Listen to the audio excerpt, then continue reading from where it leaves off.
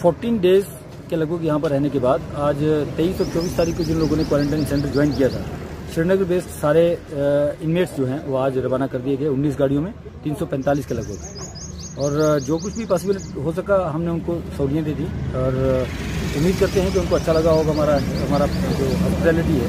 उन्होंने इन्जॉय की होगी और क्वारंटाइन पीरियड उनका अच्छा बीता होगा